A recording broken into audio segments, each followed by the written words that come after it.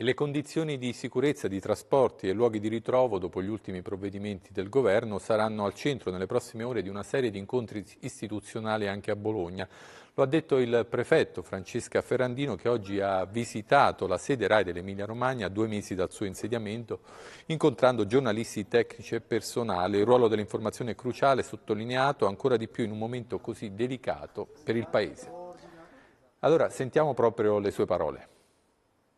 Domani intanto ehm, si svolgerà una riunione del Comitato Provinciale dell'Ordine e della Sicurezza Pubblica, alla quale oltre al sindaco della città di Bologna e che è anche presidente della città metropolitana sono stati invitati a partecipare i dirigenti generali delle due aziende unità sanitarie locali di Bologna ed Imola, il presidente dell'azienda dei trasporti e ehm, gli esponenti dell'università. Questo per fare un punto di situazione di ciò che si è fatto fino ad oggi e per definire nuove linee operative alla luce dei nuovi decreti della Presidenza del Consiglio dei Ministri.